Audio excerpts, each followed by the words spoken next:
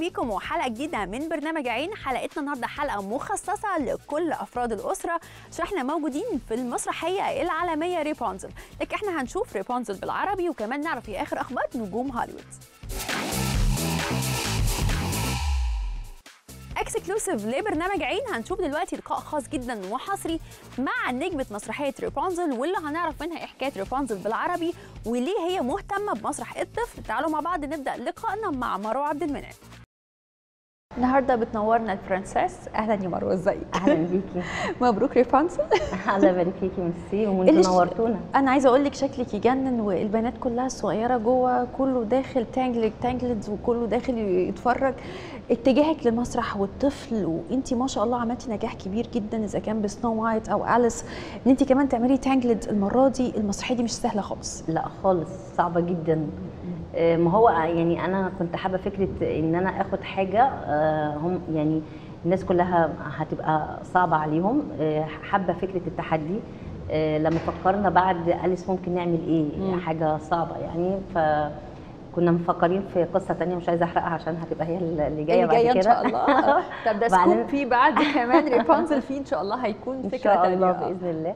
بس لما قعدت أفكر كده قلت لا الفانزل فيها تحدي أكتر عشان فكرة الشعر. آه هي متعبة جدا جدا جدا. مش عايزة أقول لك قد إيه يعني. فأنا كنت حابة فكرة التحدي وبعدين رابنزل كل البنات بتموت فيها يعني. ما فيش بنت ما بتحبش رابنزل أصلا. ف- انت عارفة كمان في بنات اشتروا شعرها الطويل؟ الأصفر. والله في محلات بقت بتبيع الضفيره مم، طب. قولي لي عشان أشتري. التجهيزات المسرح ال musical كمان بيكون صعب وانت نقدر نقول بقيتي وحش في المسرح بتاع الأطفال بتعرفي تتعاملي والأطفال بقت بتقعد تستناكي اتجاهك يا مروة للمسرح وان انت تعرفي تعملي حاجة musical زي دي بيحتاج منك تدريب قد إيه؟ لا كتير. يعني بصي أنا بقالي ثلاث سنين كده ورا بعض من. سنو وايت وفي آخر سنو وايت بجهز في أليس. وجهزت أليس في سنة. في. آخر أليس كنت بجهز في في رابنزل. آه، كل مسرحية خدت مني يعني في حدود السنة تجهيزات. لكن رابنزل يعني على قد ما هي صعبة جدا لكن خدت مننا شهرين. إحنا جهزناها في شهرين بس. فدي كانت صعوبتها إن إحنا ما كناش بننام خالص. لا أنا ولا أستاذ محسن ولا فريق العمل معايا يعني في شهرين اتعملت الملابس والديكور والمزيكا و- وتدريبات والرقص ما كناش بننام بجد يعني الناس كلها تعبت قوي لأن إحنا كنا ملتزمين إن إحنا لازم نطلعها في أجازة نص السنة وعدنا الناس بكده. فدي أقصر مدة اشتغلنا فيها فيعني إحنا اتدمرنا تماما. ريبانس بالعربي آه نقدر نقول إن هي مغامرة وتحدي. دي فعلا. آه، بصي اولا مسرح الطفل آه، مش زي ما الناس فاكرة إن هو صعب جدا. ده مسرح أصعب أنواع المسرح. أصعب من المسرح الكبار على فكرة. تعملي مسرح طفل ما بيعرفش يقعد خمس دقائق على بعضيه. الطفل طبيعته ما بيعرفش يقعد خمس دقائق على بعضيه مستحيل. إنك تسكتي عدد كبير جدا من الأطفال وتقنعيهم في الوقت اللي إحنا فيه ده آه، آه، هم معتمدين كلهم على السوشيال ميديا وخلاص أفاقهم وتفكيرهم آه، بقت غير تفكيرنا. فكرة إن أنت تحوليه من مسرح من فيلم كرتون شافه بالإنجلش أو حتى لو كان مدبلج لأن هو يجي يتفرج عليكي بجد ويشوف الشخصية دي حقيقية قدامه ويقتنع بيكي ده صعب جدا إنك ما ينفعش تضحكي على الطفل نهائي ينفع تضحكي على الكبير لكن الطفل لو ما صدقكيش انتهى خصوصا اطفال دلوقتي مش. أطفال خالص فهي يعني إحنا بنلعب في حتة خطر جدا لأن. لو الطفل ما صدقكيش المشروع كله ده مم. هينتهي يعني plus إن أنا كنت حابة فكرة ريبونزل بالعربي. آه لأن في ناس كتير جدا آه، حابة تتفرج عليها English. آه وتعرض علينا إن إحنا نعملها English بس أنا صممت إن هو يبقى عربي البداية آه، كانت العرض كان هيكون بالإنجليزي لا يعني في يعني في فئات قالوا إيه يعني اعملوها. English آه عشان يجي ف يعني أنا ما ما وافقتش على الفكرة دي آه، لأني أنا حابة فكرة العربي وقلت لهم ال- ال- الناس اللي طالبة بالانجلش أنا هجيبهم يتفرجوا عليا بالعربي انت لازم أقول حاجة أنا حضرتها في عروضك كلها اللي فاتت إن انت بيكون عندك كل أفراد الأسرة وكل الشرائح الاجتماعية ودي آه. حاجة مهمة جدا مم. يعني كنت بشوف الناس في مسرح البالون اللي قادرين يدفعوا تذكرة آه. أعلى كانوا بيجوا واللي حتى برضو قادرين يدفعوا تذكرة بسيطة كانوا بيجوا وما شاء الله عملتوا إيرادات كبيرة جدا يعني. هتتحط في التاريخ بتاع مسرح البالون. انتقلكوا هنا بقى للتجمع وللمنارة إشمعنى أسباب كتير قوي. اولا آه، الدولة فيها يعني يعني على قد مميزاتها بس هي إنتاجها بيبقى بسيط. أنا كنت عايزة أعمل الأكبر وعايزة يعني يعني أكبر بالمشروع. فكنت محتاجة إنتاج كبير. وزي ما أنتم شايفين يعني اتصرف على المشروع ده صح. كتير جدا يعني كنت محتاجة إن أنا أطوره. ثلاث عروض في اليوم مجهود كبير. أنا عايزاكم إحنا خاطفينها وسط العروض وأنا عارفة إن انت على المسرح بتكوني يعني في حركة كتيرة وفيها آه. غنى إزاي يا مروة بتقدري إن انت في اليوم الواحد يبقى عندك أكتر من عرض؟ بص هي دي أول مرة أعملها وإن شاء الله آخر. كان إحنا محكومين بظروف خلتنا نعمل ثلاث عروض علشان نقدر نعمل أكبر عدد عروض في وقت صغير ونقدر نجيب يعني أكبر فئة من الناس تتفرج علينا. يعني هو مجهود كبير جدا بس كله يهون قدام فرحة الطفل وانبساطه والنجاح والتسقيف اللي بسمعه في الآخر ده انت انت بتنسي كل تعبك. آه، يعني ربنا يقدرنا بقى وفاضل عرضين اهو. إن شاء الله. انت عارفة كل البنات الصغيرين اللي عرفوا إن أنا جاية لك النهارده كنا بنقول إيه ده انت هتقابلي مروه هتقابلي؟ برنسس. أقول لكم هي فعلا برنسس يا جماعة في الحقيقة والتفاصيل. أنتوا مهتمين جدا بالديكور مم. مهتمين جدا بالملابس إن دي كمان من ضمن عوامل الإبهار. طبعا طبعا. أصل بصي ما فيش عمل بينجح بحاجة واحدة بس لازم كل العناصر تكون مكتملة. طبعا ده شغل الاستاذ محسن إن هو يعني دقيق جدا جدا جدا.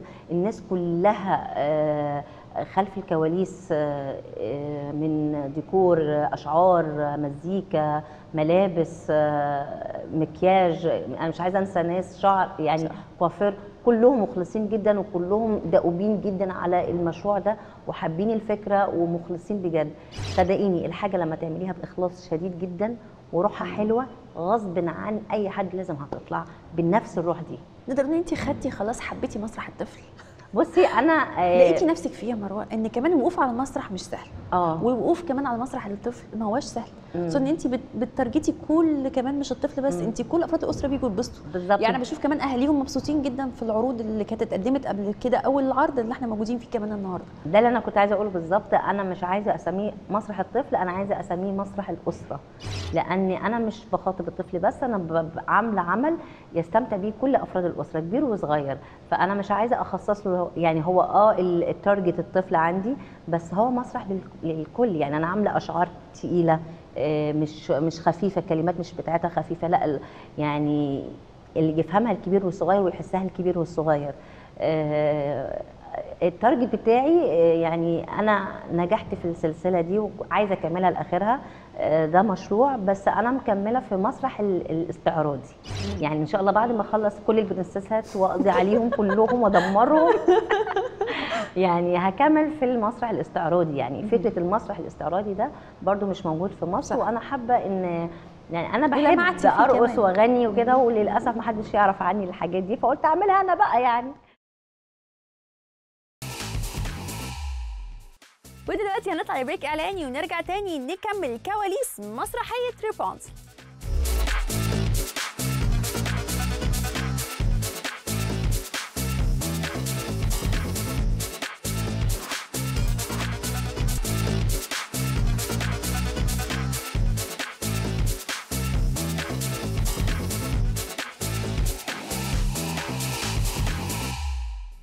ورجعنا لكم تاني بعد الفاصل ولسه مكملين لقائنا الخاص والحصري مع النجمة مروة عبد المنعم.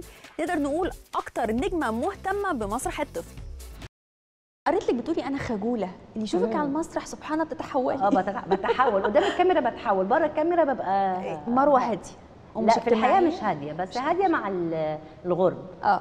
لكن مع الناس اللي أعرفهم لا مش هادية خالص. انت قلتي كلمة حلوة قوي مع. الغرب مع اللي أعرفهم. يعني انت بتبقي على المسرح حاسة إن انت عارفة كل الجمهور طبعا طبعا. المسرح ده اولا خشبة المسرح بتديني طاقة غريبة في ليها طاقة غريبة ليها سحر. خشبة المسرح ليها سحر.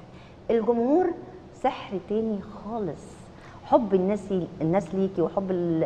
واستمتاعهم والسقفة بس اللي بسمعه أو الضحك لو أنت قلتي إفيه ده بيديكي power وطاقة يعني مش قادرة أوصف جمالها يعني. اللي شاف الفيلم Tangled هيشوف إيه شبهه في المسرحية؟ هشوف شبه كتير قوي آه، بس إحنا عاملين آه، الطبع المصري بتاعنا. أيوه كده. ده اللي أنا عايزاه. لا ما يعني إحنا يعني مش مغربين الموضوع قوي برضو حابين إن إحنا نقربه لشرقيتنا. لكن مش إحنا مش مدمرين الحدوته خالص. هي بنسبة هي تعتبر 80 مستوحاة منها؟ آه بالظبط. إحنا بنسبة 80 85% هي شبه الحدوته. بس طبيعي كان لازم نحط التفاصيل بتاعتنا علشان يبقى قريبين من الأطفال بتوعنا. يعني ما ما نقولهمش على مشكلة إحنا مش عندنا أصلا أو نعالج مشكلة هي مش عندنا في بلدنا يعني. وبالنسبة بس. للأغاني نفس الموضوع برضو ولا الريتم بتاعها قريب مثلا ومغيرين لا لا في لا بتاعتنا إحنا مصري بتاعتنا. جدا يعني تفاصيلنا إحنا. يعني دي ريبانزل مش بالعربي بالعربي. أيوه ريبانز بالعربي. لا بالعربي خلينا بالعربي هتعرضوا خارج خارج مصر أو خارج القاهرة؟ انت انت كان. عندك التجارب دي قبل كده؟ ف وعملت برضو يعني نقدر نقول عملت إيرادات كبيرة وعملت سكسي حلو جدا. هنشوف ريبانزل برضو خارج مصر؟ إن شاء الله إن شاء الله هدفنا إن رابنزل تلف في الوطن العربي كله. آه كل الأطفال الوطن العربي يتفرجوا عليها ويستمتعوا بيها ده حلمي. إن شاء الله أنا بسعى لده بإذن الله. كل التوفيق ليكي ومبسوطين جدا إن المسرح ما شاء الله كبير وبنشوف يعني عايزه أقول لكم أنا من وأنا داخلة أنا شايفة طوابير الناس بتبقى لله. مستنية العرض بتاعك. فعلا أنت بقيتي كل أفراد يعني ال family كده ما تحب تخرج هتيجي تشوف مسرحية هتخرج منها mood ها حلو اتبسطت الأطفال نفسهم اتبسطوا. أنت شجاعة جدا يا مروه ميرسي ليكي وعملتي حاجة زي ما بنقول إيه بره الصندوق. الحمد لله. أنت اخترتي لك خط لوحدك مشيتي عليه أنا أعتقد في ناس كتير هتمشي ورا مروه ده يعني شرف ليا كبير جدا والحمد لله وده توفيق من عند ربنا وحده. بس يعني الحمد لله وشكرا لك يا رب. مروة نورتينا وشرفتي شبكة تلفزيون الحياة وبرنامج عين. كنت مبسوطة أنا كنت معاكي في أليس وفي سنو وايت والنهاردة بنحتفل بريبونزل تقولي إيه لجمهورك على ريبونزل أقول لهم أقول الأول لجمهوري اللي جالي وشرفني. ميرسي جدا جدا على ثقتكم الغالية جدا. فيا وفي العرض وفي المشروع كله. آه، بقول لهم أنا عاملة المشروع ده للأطفال آه، علشان الأطفال يستمتعوا ويحسوا إن إحنا آه، نقدر آه، نبقى قريبين منهم ونقدر نكلمهم. وبقول للناس اللي ما جاتش أتمنى إنهم يجوا يتفرجوا على العرض هيستمتعوا جدا جدا. أوعدكم بعرض آه، كويس جدا إن شاء الله. ميرسي ليكوا قوي ريبونزل مش بالعربي ريبونزل بالمصري آه، تجربة بجد آه، رائعة. آه، نقدر نقول حياتك وأستاذ محسن بقيتوا في آه، كيمياء بينكم. وبقيتوا بتفهموا بعض كويس وكل مرة يعني كل مرة بقابل حضرتك بيكون في مشروع جديد هيكون كمان أحسن وبت يعني نقدر نقول إيه بتجودوا شوية كمان عن المشروع اللي قبله. ألف ألف مبروك النجاح وبتمنى لك يا رب مزيد مزيد من التألق. أنتوا فعلا بتقدموا حاجة محترمة نتشرف بيها داخل مصر وخارج مصر. الحمد لله والشكر ليك يا رب وميرسي ليكم وميرسي على اللقاء الجميل الشيك ده وميرسي على حضوركم ولسه لقاءاتنا من مسرحية ريبونزل مستمرة مع حضراتكم. ودلوقتي هنشوف مع بعض لقاء خاص جدا وحصري مع مؤلف ومخرج المسرحية وهو المخرج محسن رزق.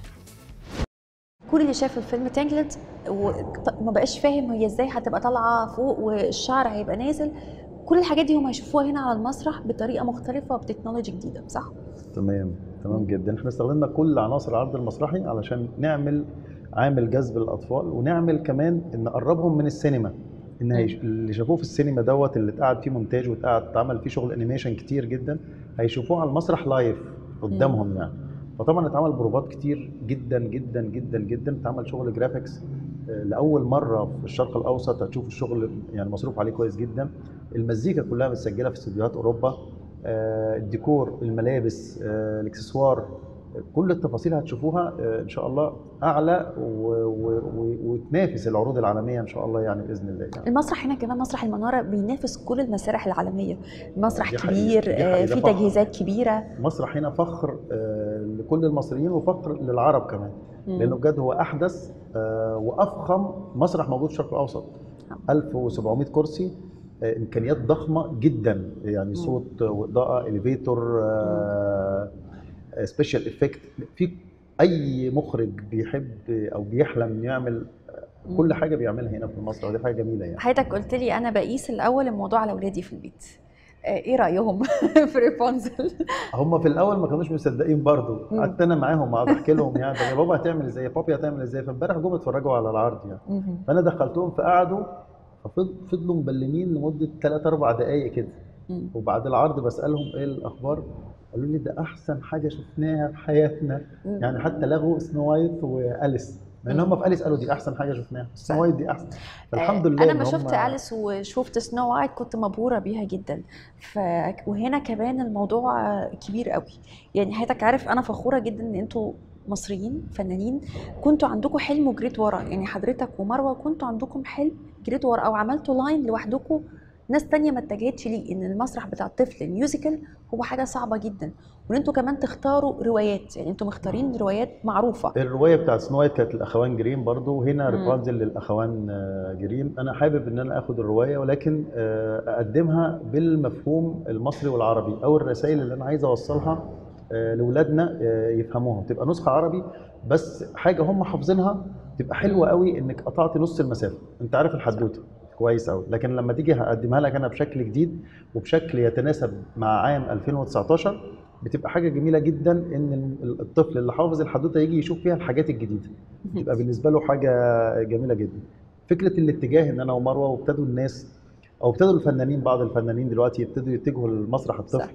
ويعملوا تجارب دي حاجة فخر الحمد لله رب العالمين. ويا ريت يا رب كل الناس تشتغل للاطفال دي حاجة كويسة إن إحنا بدأنا الاتجاه دوت وبعدين يحصلنا ناس كتير. كنت بقول أستاذة مروة أنتوا ليكوا في كل شرائح المجتمع. أنا كنت بشوف آه، في البالون الشريحة الاجتماعية ال A وكنت بشوف ال B وكنت بشوف ال C يعني أنتوا بت مش بتخاطبوا شريحة معينة أنتوا بتخاطبوا كل حقيقة. الناس. دي حقيقة. وعشان فدي حاجة مش سهلة. وعشان كده. برضو عاملين مفاجأة كمان إذا شاء ربنا سبحانه وتعالى إن شاء الله في الإيفنتات اللي اللي جاية عاملين عروض خاصة آه، لكل المصريين. بأسعار زهيدة جدا تكاد تكون رمزية يعني عشان كل الناس تتفرج على العرض.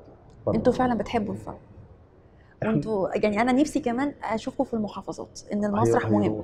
هنروح كل المحافظات والله إن شاء الله. أنا شاء نفسي أنا نفسي وأتمنى من ربنا سبحانه وتعالى إن وأنا بقول أهوت حتى للدكتور ايناس عبد الدايم وزيره الثقافة المخلصة الرائعة ديت آه، أنا أنتمي آه، لوزارة الثقافة. وأنا أفتخر إن أنا أنتمي لوزارة الثقافة وأنا تحت أمر وزارة الثقافة. حتى لو هنلف كل محافظات مصر ما عندناش أي مشاكل خالص. ألف ألف مبروك على ربنا يبارك فيك يا. تحياتي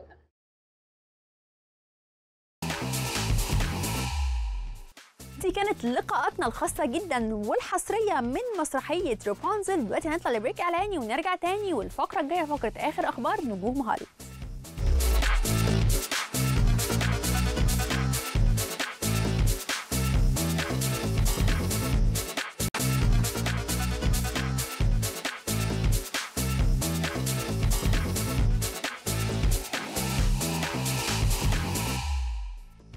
لكم تاني بعد الفاصل. ودلوقتي جماعة فقرة آخر أخبار نجوم هوليوود وأول خبر معانا عن فيلم هينزل يوم 23 إبريل هو فيلم Fighting with my family.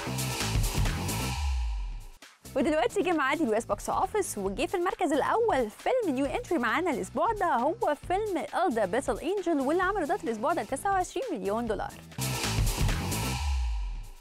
أما المركز الثاني فكان من نصيب فيلم الكرتون The Lego Movie 2 The Second Part واللي عمل ايرادات الأسبوع ده 21 مليون دولار والفيلم ده new entry معانا الأسبوع ده.